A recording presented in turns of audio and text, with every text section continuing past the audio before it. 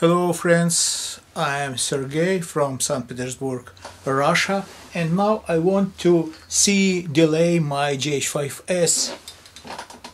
I want to shoot this stopwatch. My Panasonic connected by HDMI with this monitor and then we see it steals delay between stopwatch and Panasonic screen. Then we see delay from Panasonic to monitor. Let's test it. Start stopwatch. Now I see very strange and interesting picture. Actually, you can see this by yourself, frame by frame. This delay Panasonic producing itself.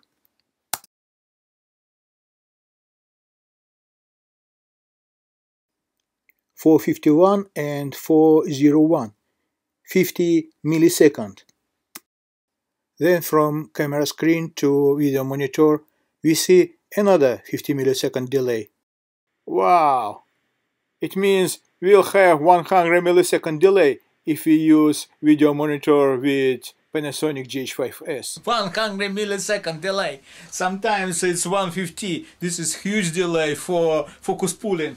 Sometimes stills show us zero delay between camera and video monitor, but it doesn't matter because we see total delay still 100 millisecond. Let's change monitor, put another one, let's see what happened.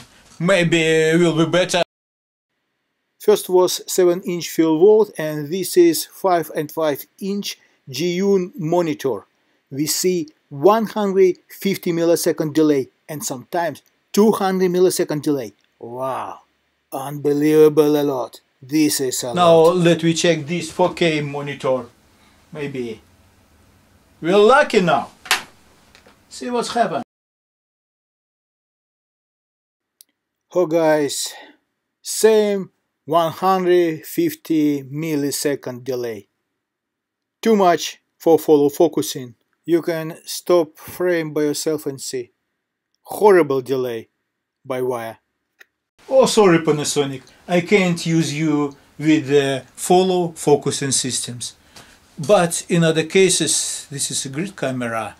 Uh, even we use it for live stream with this low budget and low delay wireless transmitter receiver. I achieved a very nice synchronization.